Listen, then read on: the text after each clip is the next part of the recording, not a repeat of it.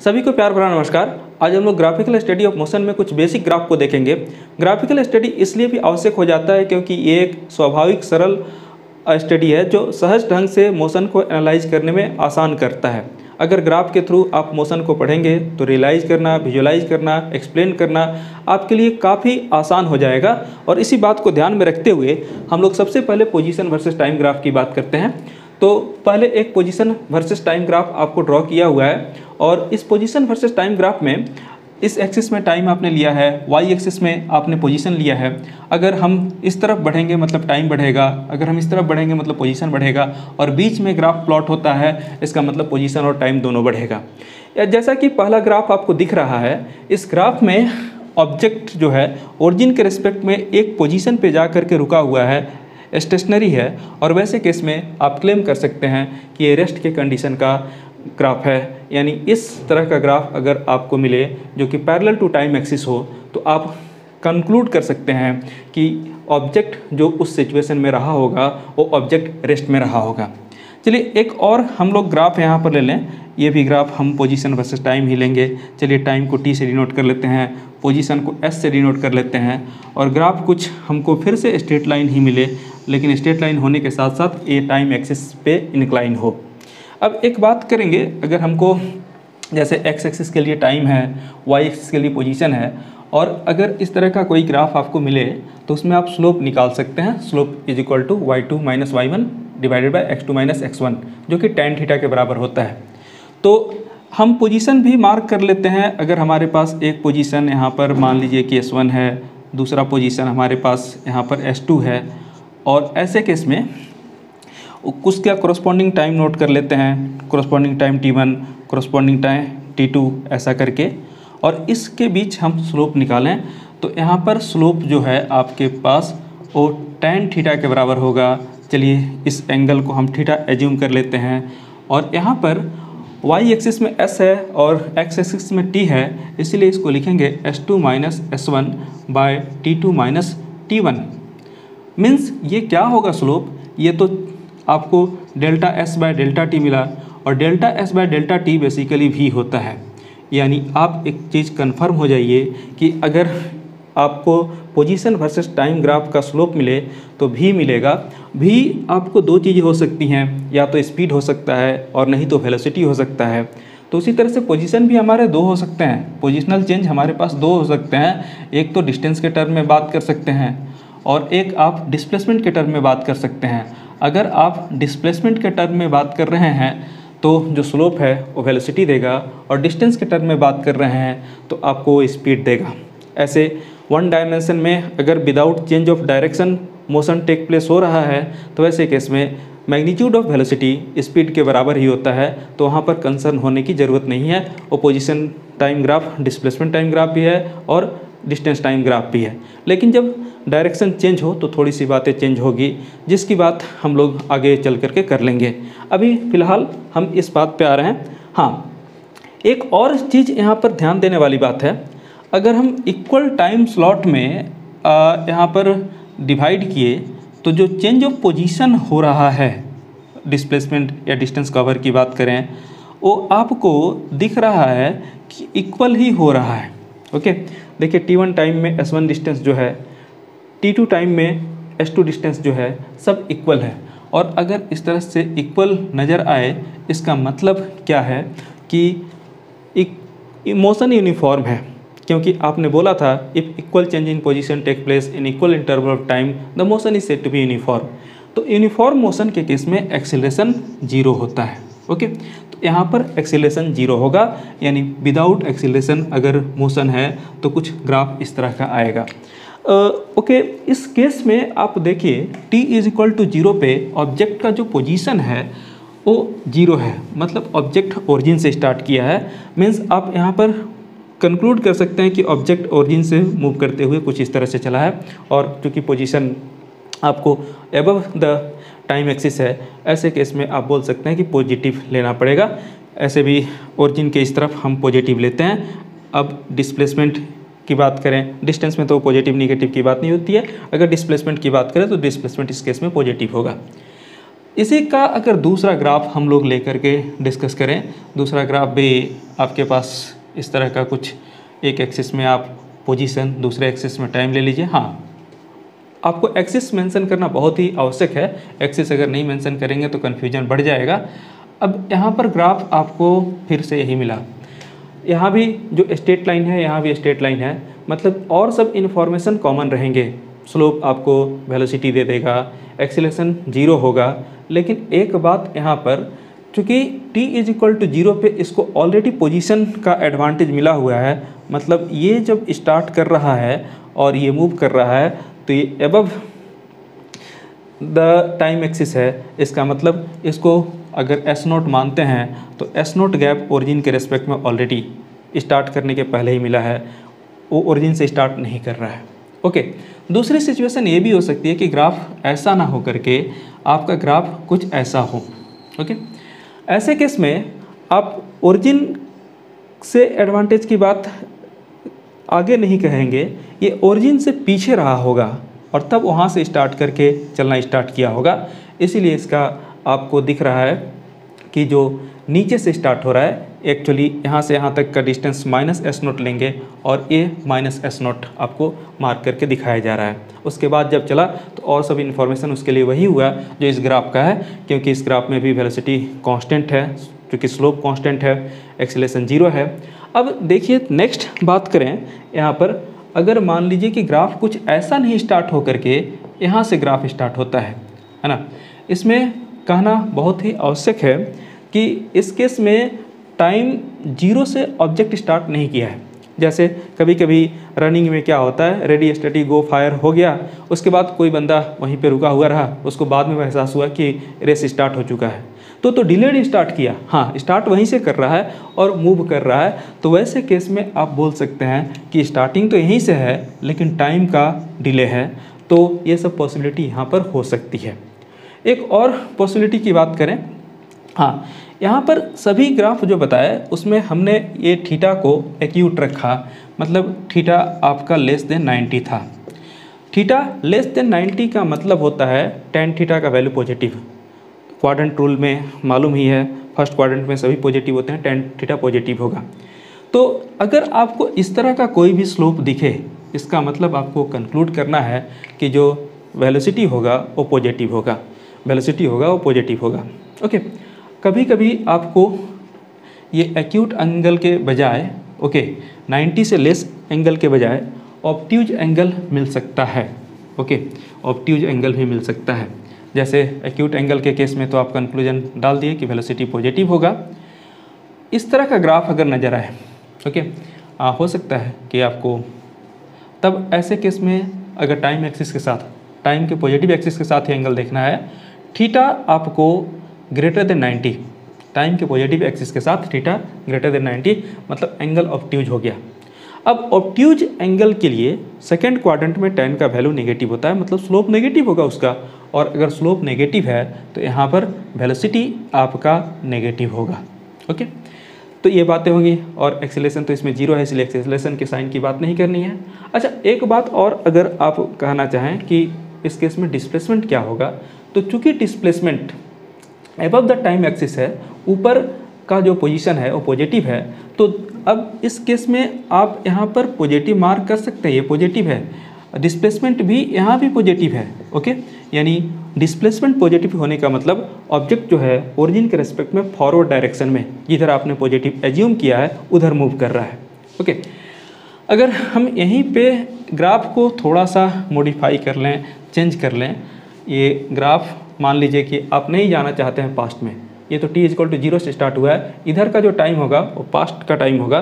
तो पास्ट में नहीं जाना चाहते, हम यहीं से स्टार्ट करना चाहते और तब हमारे पास अगर ग्राफ इस तरह से आए ओके अब बोलेंगे कि हम टाइम एक्सेस के साथ यहाँ पर एंगल बना दें, तब तो हमको ये एंगल नेगेटिव होगा। हाँ ओबियस है, क्योंकि अगर आप क्लॉकवाइज एंगल जाते हैं तो पॉजिटिव लेते हैं तो anticlockwise sorry anticlockwise angle positive लेते हैं तो क्लॉकवाइज आपको नेगेटिव मिलेगा।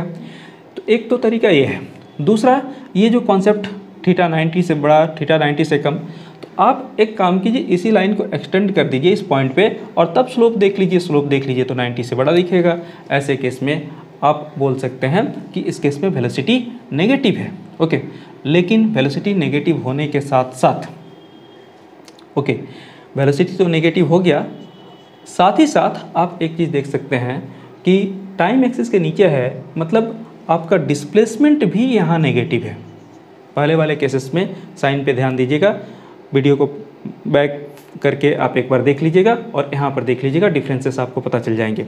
तो ये तो बात हुई स्ट्रेट लाइन की। स्ट्रेट लाइन ऑल दो एनालाइज करना रियलाइज़ करना विजुलाइज करना एक्सप्लेन करना सब ईजी है। लेकिन स्टेट लाइन के अलावा भी हमारे पास पॉसिबिलिटी बनेंगी, जिसकी अब बात हम लोग को करनी है, जो कर्व है ओके अब कर्व में थोड़ा सा ज़्यादा ध्यान दे के समझना है एक्चुअली कर्व ही ज़्यादा मज़ेदार है।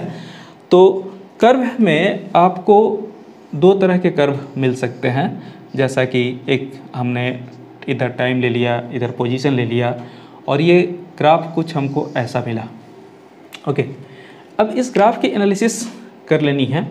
सबसे पहले स्ट्रेट लाइन था, तब तक हर पॉइंट पे स्लोप सेम मिल रहा था। लेकिन जैसे ही आप इसको कर्व बना देंगे, हर एक पॉइंट पे आपको स्लोप अलग अलग मिलेगा। और देखिए, हर पॉइंट पे एंगल चेंज हो रहा है इनफैक्ट एंगल इंक्रीज कर रहा है। आप चाहें तो एक्चुअल टाइम एक्सिस से भी देख सकते हैं, और नहीं तो टाइम एक्सिस के पैरेलल दूसरा एक्सिस प्लॉट करके भी देख सकते हैं। वहाँ भी एंगल आपको क्लियरली दिखाई देगा। मतलब आप ऐसा कर लें और यहाँ पर एक टाइम एक्सिस जैसा ड्रॉ कर लें, सभी जगह आपको एंगल दिखाई दे रहा है। एक बात मालूम है कि थीटा के इंक्रीज करने से ज़ीरो से 90 की तरफ़ जब थीटा इंक्रीज करेगा तो वैसे केस में स्लोप भी इंक्रीज करेगा। मतलब अगर स्लोप इंक्रीज कर रहा है ओके स्लोप मतलब टेन थीटा, ये मतलब वेलोसिटी अगर ये इंक्रीज किया तो टेन थीटा का वैल्यू भी इंक्रीज कर रहा है तो वेलोसिटी इंक्रीज करेगा। एक बात क्लियर है कि वेलोसिटी नहीं बोल करके स्पीड बोल दीजिए मैग्नीट्यूड ऑफ़ वेलोसिटी वो इंक्रीज करेगा। हम्म, अब इंक्रीज करने के बाद दूसरी बात हम लोग को मार्क कर लेनी है। अगर हम इसको इक्वल टाइम स्लॉट में काट लें ओके इक्वल टाइम स्लॉट में काट लें इक्वल इक्वल टाइम में डिवाइड कर लें तब हमको क्या मिलेगा वो देख लीजिए। वहाँ से आपको एक इन्फॉर्मेशन बहुत अच्छा मिलेगा। मान लीजिए टी वन था टी टू था टी थ्री था और यहाँ पर आपने इसको ज्वाइन किया क्रोस्पॉन्डिंग पोजीशन एक्सेस में। क्रोस्पॉन्डिंग पोजीशन एक्सेस में दिख रहा है कि इक्वल टाइम में जो डिस्प्लेसमेंट हो रहा है, वो अनइक्वल हो रहा है। इनफैक्ट इंक्रीज कर रहा है। तो वैसे केस में वेलोसिटी तो इंक्रीज कर रहा है, यहाँ से भी दिख रहा है। मतलब ये नॉन यूनिफॉर्म मोशन है और यहाँ पर एक्सिलरेशन भी है। यहाँ पर एक्सिलरेशन भी है। ओके अब बात करेंगे हम लोग एक्सिलेशन के साइन की। ओके तो देखिए एक्सिलेशन इज़ इक्वल टू आपके पास भी माइनस यू बाई टी होता है। तो यहाँ पर स्पीड अगर मान लें पोजीशन एक्सिस में हम स्पीड दिखा नहीं सकते, लेकिन एज्यूम कर लीजिए कि इस पोजीशन पे आपको 10 मीटर पर सेकंड मिला। तो अगले पोजीशन पे ऑब्वियस है कि 20 मीटर पर सेकंड आपको मिलेगा। और उसमें हो सकता है कि टाइम इंटरवल कुछ दो सेकंड पाँच सेकंड का रहा। तो अगर हम 20 minus ten final minus initial by time मान लीजिए टेन सेकेंड ही ले लेते हैं तो one metre per second square जो आ रहा है, वो पॉजिटिव आ रहा है। यानी इस केस में अगर इस तरह का ग्राफ आपको मिले तो आप बोल सकते हैं कि एक्सेलेशन कैसा है? पॉजिटिव है। अच्छा डिस्प्लेसमेंट के बारे में तो आपका इन्फॉर्मेशन क्लियर ही था, क्योंकि अब पोजिशन एक्सिस है तो डिस्प्लेसमेंट आपको पॉजिटिव ही होगा। ओके तो एस पॉजिटिव हो गया। ओके भी पॉजिटिव भी हो जाएगा और साथ ही साथ आपको एक्सेलेशन पॉजिटिव एक बात मालूम है कि अगर वेलोसिटी और एक्सेलेशन का साइन सेम हो तो स्पीड जो है साइन सेम हो मैं बोल रहा हूँ। अगर दोनों पॉजिटिव हो तब, दोनों नेगेटिव हो तब स्पीड इंक्रीज करेगा। और अगर दोनों का साइन अपोजिट हो तो वैसे केस में स्पीड डिक्रीज करेगा। अच्छा इसी ग्राफ में चलिए थोड़ा सा एक और पार्ट एनालाइज कर लिया जाए ये भी साथ ही साथ हो जाए। अगर ग्राफ कुछ इस तरह से हो तो इसके बारे में साइन कैसा? क्योंकि इस एनालिसिस से आपको बहुत क्लियर और बढ़िया इन्फॉर्मेशन मिलेगा जो आपके हेल्प का होगा। हम्म, चलिए ठीक है अगर हम यहाँ से मिलाते चलें तीन पोजीशन जैसे यहाँ मिला है वहाँ मिला लेते हैं। और तीनों पोजीशन पे हम एक्स एक्सिस के रेस्पेक्ट में पॉजिटिव टाइम एक्सिस के रेस्पेक्ट में एंगल देखना चाहें। तो एंगल आपको हर केस में 90 से ज़्यादा नज़र आ रहा है और अगर 90 से ज़्यादा नज़र आ रहा है मतलब स्लोप जो होगा, वो नेगेटिव होगा। अभी बात कर रहे थे। और स्लोप नेगेटिव मतलब वेलोसिटी नेगेटिव होगा। डिस्प्लेसमेंट की बात करें, ये तो एबव पोजीशन एक्सिस है तो ये पॉजिटिव होगा। अब सबसे इंपॉर्टेंट डिस्कशन आपको यहाँ पर जो लाजमी है, ज़रूरी है, वो है एक्सेलेशन का। हम्म। चलिए ठीक है, जैसे इसको मार्क किए थे हम 20 मीटर पर सेकेंड और इसको मार्क किए थे 10 मीटर पर सेकेंड अच्छा अब देखिए क्योंकि टाइम बढ़ा रहे हैं तो ये इनिशियल और ये फाइनल हो जाएगा। अब देखिए, यहाँ पर एक्सेलेशन अगर आप निकालना चाहें तो that is v minus u by t v के वैल्यू की बात करें तो आपको टेन मिला। यू के वैल्यू की बात करें तो ये ट्वेंटी मिला। बाय टाइम जैसे टेन सेकेंड लिए थे, ले सकते हैं। अब यहाँ पर आप देखोगे कि एक्सेलेशन नेगेटिव आ रहा है, लेकिन वो कन्फ्यूज़न का पॉइंट होगा, क्योंकि आपको याद रखना है, इस तरफ़ वेलोसिटी सारे नेगेटिव थे, यानी आप यहाँ पर एक माइनस साइन भी पुट कर दीजिए। अब देखिए, ये फिर से प्लस वन आ जाएगा। ओके यानी यहाँ पर एक्सिलरेशन भी पॉजिटिव है। यहाँ पर एक्सिलेशन भी पॉजिटिव है। कहने का मतलब एक आपके लिए बहुत बड़ा हैक आपके लिए बहुत बड़ा लॉजिक आपके लिए बहुत बड़ा ट्रिक बोलिए कि अगर पोजीशन वर्सेस टाइम ग्राफ का जो पाउल है ओके कनकेव अपवर्ड है। कनकेव अपवर्ड होने का मतलब acceleration always positive concave upward होने का मतलब एक्सीलेशन ऑलवेज पॉजिटिव ये याद रखिएगा। ये आपके बहुत काम का चीज़ है और काम आएगा भी। ओके चलिए, ठीक है। अब इसी में हम एक ग्राफ को चेंज करके देखते हैं। तो हमारे पास क्या होगा? वो भी देख लें, क्योंकि ये तो कनकेव अपवर्ड की बात हो गई। ओके अब हमारे पास ऐसा भी हो सकता है कि आप यहाँ कनकेव डाउनवर्ड की बात कर सकते हैं। ओके तो यहाँ पर आप देख लीजिए इस तरह का अगर हो सिचुएशन ये सिचुएशन हो तो वैसे केस में क्या होगा? तो इस तरह के सिचुएशन में आप फिर से बात कीजिए पोजीशन वो तो पॉजिटिव होगा क्योंकि अब पोजीशन अब टाइम एक्सिस है। ओके और दूसरी बात वेलोसिटी की करें, फिर से आपको स्लोप निकालना होगा। तो स्लोप आप हर एक पॉइंट पे निकाल सकते हैं। हर एक पॉइंट पे निकालने का मतलब क्या है कि इस पॉइंट पे चलिए, मिलाते चलिए। इस पॉइंट पे आप चाहें तो टाइम एक्सिस से। एंगल जो है, अभी भी 90 से कम आ रहा है। एक तो स्लोप निकालने का ये तरीका हुआ किसी भी पॉइंट पे। एक और तरीका हो सकता है, जिसको आप यूज़ कर सकते हैं। वो तरीका क्या हो सकता है कि आप, वही जो ग्राफ था, उसमें हर जगह टाइम एक्सिस के पैरल एक्सिस ड्रॉ कर लेते। और वहाँ पर एंगल देख लेते कि कैसा है, ठीक है? तो एंगल यहाँ पर 90 से लेस है मतलब वेलोसिटी पॉजिटिव होगा। हम्म। अब एक बात और है कि स्पीड की बात करें। अगर इक्वल इंटरवल ऑफ़ टाइम में आप इसको कट करके देखेंगे ओके मान लीजिए कि यहाँ पर जितना टाइम टी वन था, उतना ही टाइम आपने टी टू ले लिया, उतना ही टाइम आपने टी थ्री ले लिया, और तब इसको पोजीशन एक्सिस से मिला करके देख रहे हैं। इक्वल टाइम में अनइक्वल डिस्टेंसेस कवर हो रहे हैं। नॉन यूनिफॉर्म मोशन तो होगा ही मतलब एक्सीलेशन तो है ही है। साथ ही साथ ये स्लो डाउन होते जा रहा है। मतलब स्पीड यहाँ पर आप बोल सकते हैं कि स्पीड डिक्रीज कर रहा है जैसा ग्राफ आपको बता रहा है। ओके अभी आप एक काम कीजिए एक्सेलेशन की बात कर लीजिए यहाँ पर। स्पीड जब डिक्रीज कर रहा है आप एक्सेलेशन के साइन की बात करें। हम्म, यहाँ पर मान लीजिए कि स्पीड आपको ट्वेंटी था, यहाँ पर टेन हो गया। तो यहाँ पर ten minus twenty time interval चलिए टेन सेकेंड ले लेते हैं। तो यहाँ पर माइनस वन आ रहा है। यानी ऐसे केस में आपको जो एक्सेलेशन का साइन है, वो नेगेटिव होगा। और मैंने पहले भी बताया था कि जब आपका एक्सीलेशन का साइन और वेलोसिटी का साइन अपोजिट हो तो स्पीड डिक्रीज करेगा। यानी इस केस में स्पीड बिल डिक्रीजेज ओके तो ओवरऑल यहाँ पर कंक्लूजन ये निकाल सकते हैं कि अगर आपको सीधे पोजीशन वर्सेस टाइम ग्राफ जो है, वो कुछ इस तरह का रहा ओके या इस तरह का रहा तो आपका एक्सेलेशन ऑलवेज पॉजिटिव क्योंकि कनकेव अपवर्ड है। और अगर पोजीशन वर्सेस टाइम ग्राफ आपको इस तरह का रहा तो आप बोल सकते हैं कहीं भी उस केस में एक्सीलेशन नेगेटिव होगा क्योंकि ये कनकेव डाउनवर्ड है। इसके एनालिसिस को करके आप बहुत सारे क्वेश्चंस के आंसर्स दे सकते हैं जहाँ पर साइन की बात होती है। और बहुत इंपॉर्टेंट है आपको साइन को डिस्कस करना। तो ये बातें हो गई।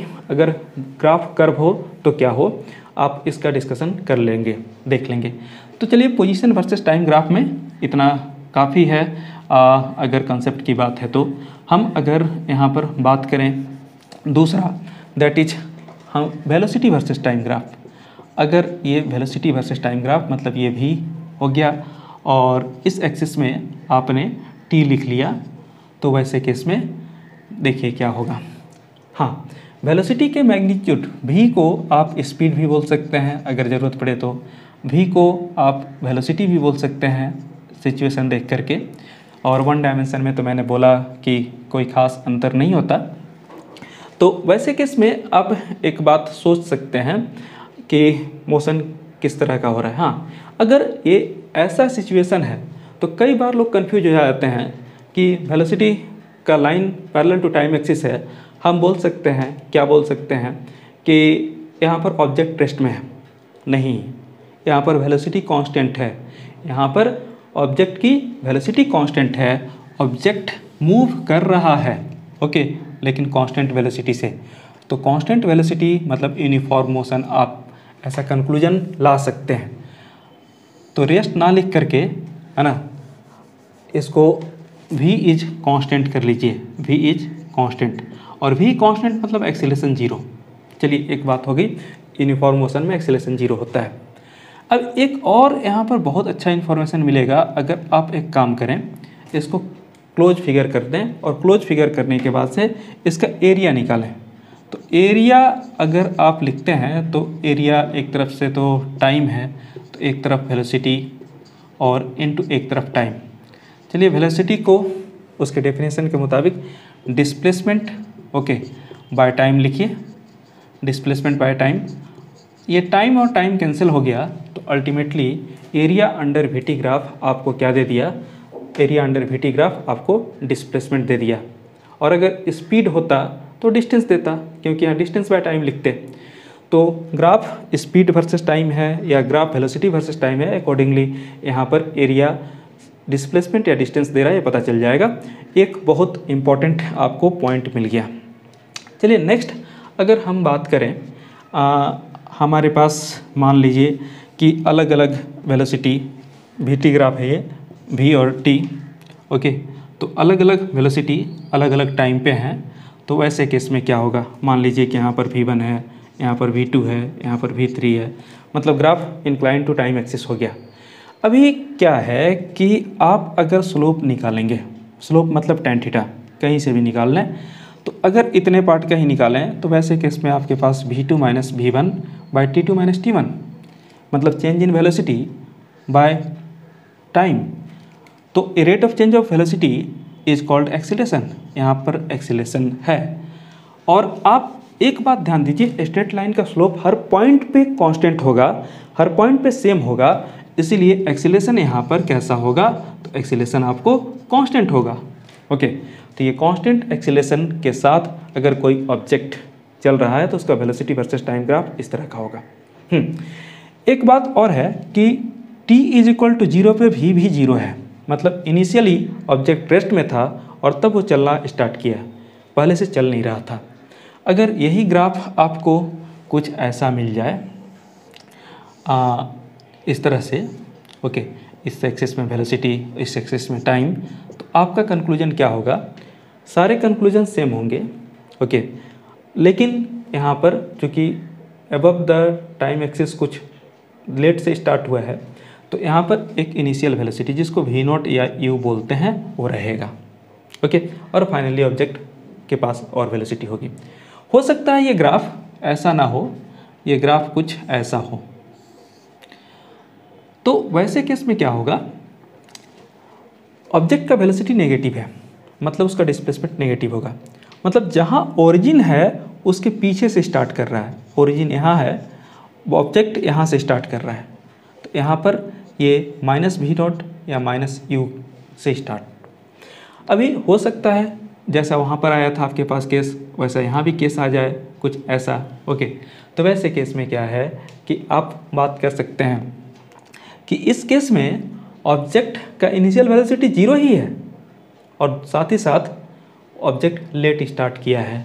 मतलब शुरू में जब टाइमर स्टार्ट हो गया तो ऑब्जेक्ट मूव करना स्टार्ट नहीं किया. तब तक कुछ देर तक वो रेस्ट में रहा, उसके बाद से वो मूव करना शुरू किया। ऐसे कर्व की भी पॉसिबिलिटी हो सकती है। कर्व की पॉसिबिलिटी में आपको एक्सीलेशन नॉन यूनिफॉर्म हो जाएगा। हम लोग बात कर रहे थे यहाँ पर कि अगर आपको स्लोप निकालना है तो एक्सीलेशन मिलना है। एरिया निकालना है तो डिस्प्लेसमेंट या डिस्टेंस मिलना है। एक बात और, ये जो एरिया निकाल रहे हैं, वो एरिया कौन सा है? जैसे इस ग्राफ में आपको कन्फ्यूज़न हो जाएगा। आपको अगर इधर से मिला करके ऐसे करें तो आपको एक एरिया इधर मिलेगा। ओके अगर हम यहाँ नहीं मिला करके सीधे हम टाइम एक्सिस के साथ देखें तो हमको एक एरिया ये मिलेगा। तो यहाँ पर जो एरिया जिसकी बात करनी है, वो ऑलवेज याद रखिएगा पॉजिटिव टाइम एक्सिस के साथ एरिया आपको लेना है, या टाइम एक्सिस के साथ ही एरिया लेना है।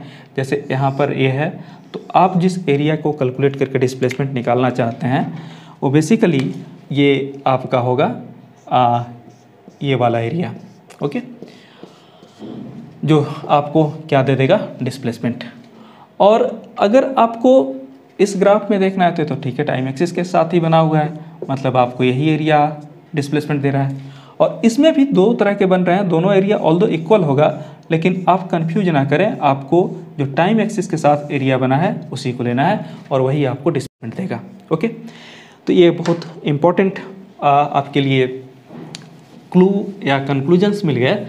अब थोड़ी सी बात वो जो तीन इक्वेशंस ऑफ़ मोशन है उसकी बात कर लें। आ, वो भी हम लोग ग्राफिकल मेथड से निकाल सकते हैं। बस थोड़ा सा वक्त लगेगा आप उसको निकाल के देख लीजिए। वो भी आपके लिए काफ़ी फ़ायदेमंद रहेगा। कभी भी ज़रूरत पड़ने पे आप यूज़ कर सकते हैं। जैसा कि आप एक यूनिफॉर्मली एक्सलेटेड मोशन का ग्राफ ले लीजिए। अच्छा इनिशियल वेलोसिटी का ज़ीरो होना एक स्पेशल केस है। हम एक जनरल केस लेते हैं। जनरल केस में हमारे पास इनिशियल वेलोसिटी मान लीजिए कि है। इसके पास यू जैसा एज्यूम करते हैं, कर लें। और इस ग्राफ को ओ ए बी और इस तरह से मिला करके डी ट्रायंगल जहाँ तक बन रहा है, वहाँ तक सी मान लीजिए। दो प्रॉपर्टी है, एक स्लोप तो सबसे पहले हम स्लोप निकालना चाहेंगे। स्लोप आपके पास मतलब टेन थीटा टेन थीटा मतलब क्या?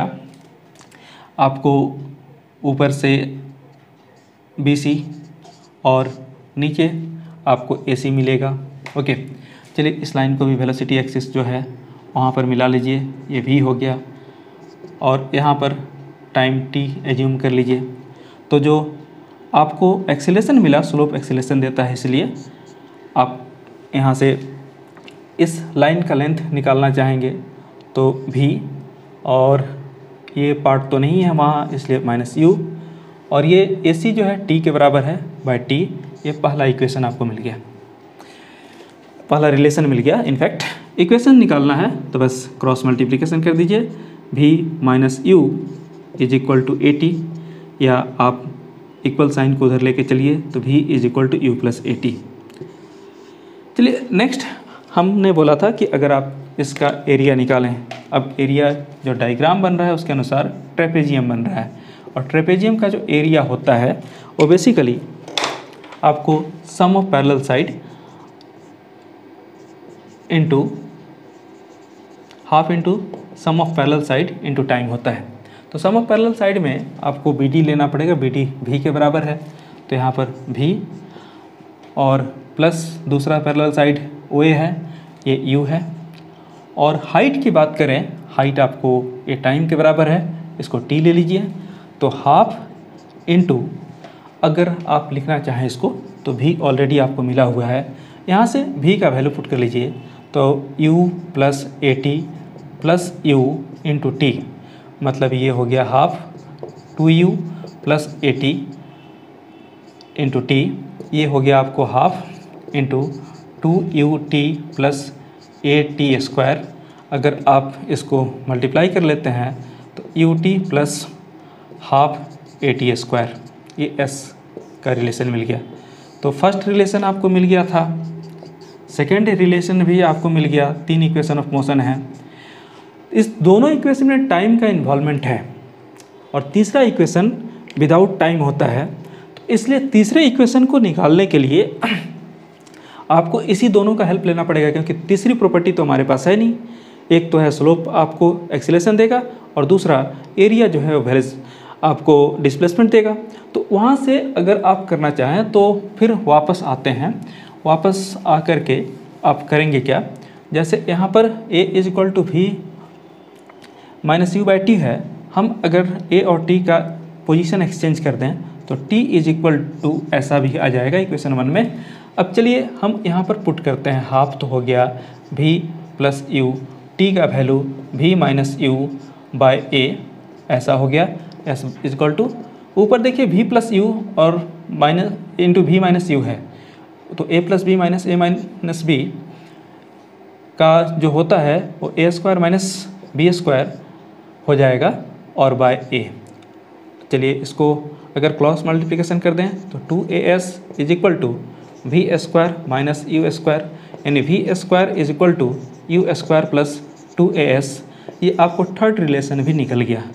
तो ग्राफ के हेल्प से आप तीनों इक्वेशन ऑफ़ मोशन डिराइव कर सकते हैं।